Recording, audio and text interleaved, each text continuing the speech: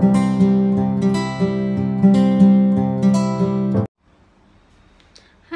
good day everyone.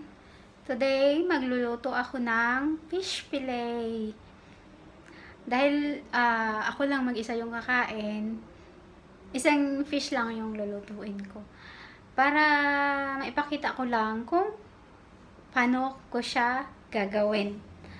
Let's do this! Guys, yung ating mga ingredients sa ating fish fillet ay mayroon tayong fish, lemon, or pwede rin siyang kalamansi. Kaso, wala kaming kalamansi, kaya lemon na lang.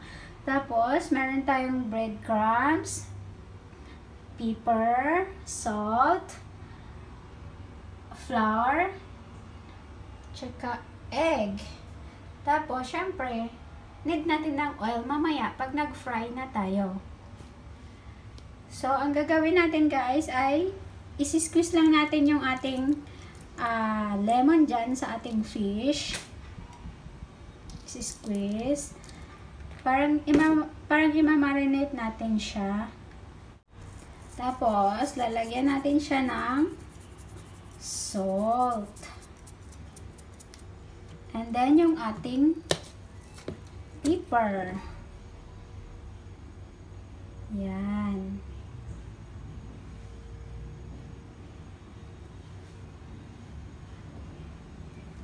Ganyan lang siya, guys. Tapos, atin yung i-massage natin dyan yung ating ano, i-massage natin dyan yung ating fish.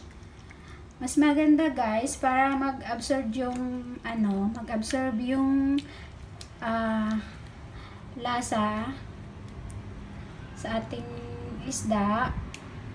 Atin muna siyang i babad siya mga 1 hour.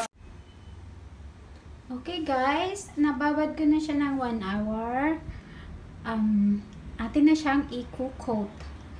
First muna natin ay i-dip muna natin siya sa flour. I-dip muna natin siya sa flour para ano siya mamaya mag-stick yung ano sa kanya, yung breadcrumbs. Tapos next is i-dip din natin siya sa egg.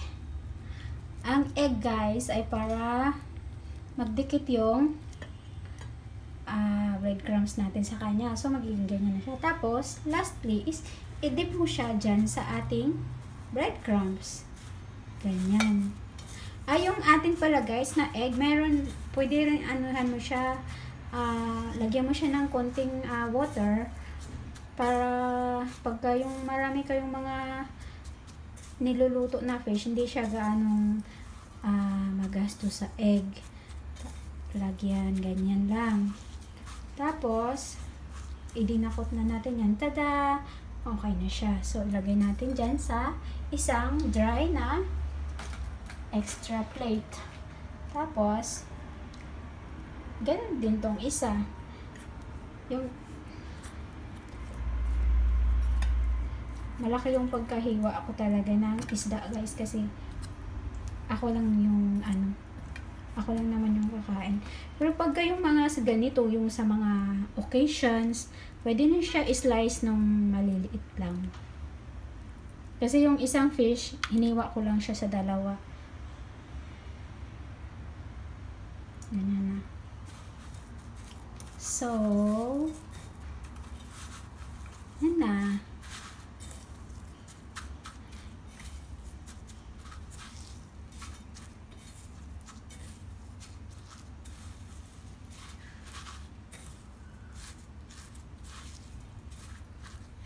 Basta sa ano guys, sa grocery store, mayroon nang nabibili na fish fillet, yung white fish. Meron din na ano, yung sa Pinas kasi yung maganda ay yung cream dory. Oh, yan na. Ready to fry na yan siya guys.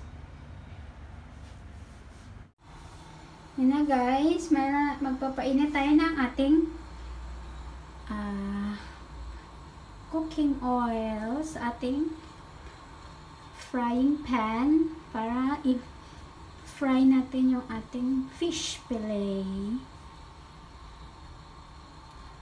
Mas maganda guys pagka deep fry siya. Lalo na pag yung maramihan yung lulutuin nyo, mas mabilis. Ayan na. Tignan natin kung ano. Itry natin kung mainit na yung oil. So, mag ano lang kayo pag itry nyo. Pagka wala kayong mga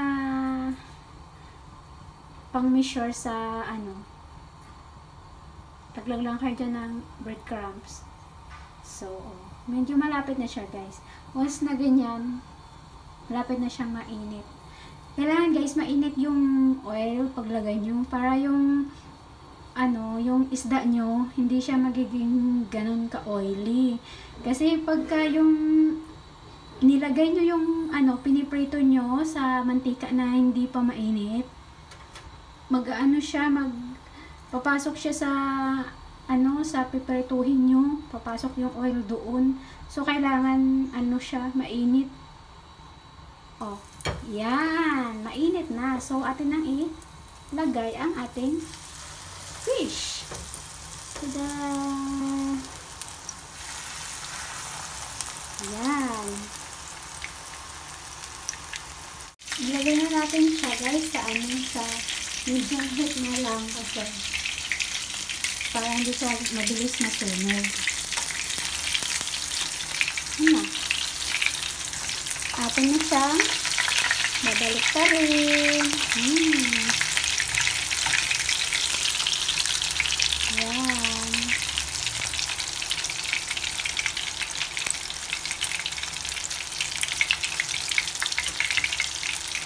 Huwag naman siyang guys na masyadong ah mahina yung apoy kasi ah ganun din nagiging oily din yung inyong piniprito. Kailangan nasa medium ano lang siya, medium heat.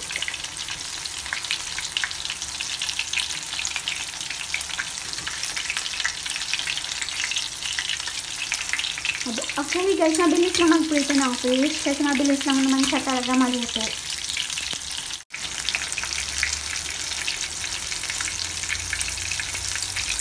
Ayan.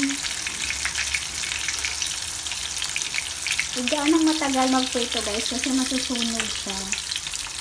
Actually, hindi naman ano. Kailangan yung golden brown lang yung pagka-prito.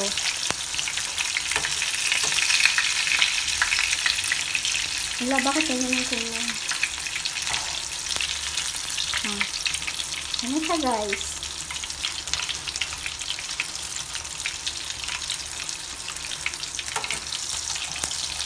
Parang mukhang sunog na siya kasi yung light dito sa ano nagre-reflect. Pero hindi siya ano, hindi siya sunog.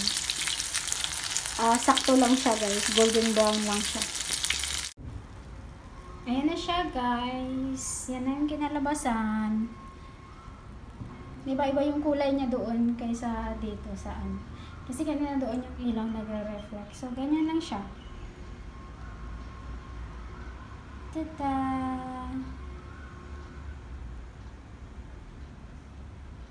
Ready to eat na!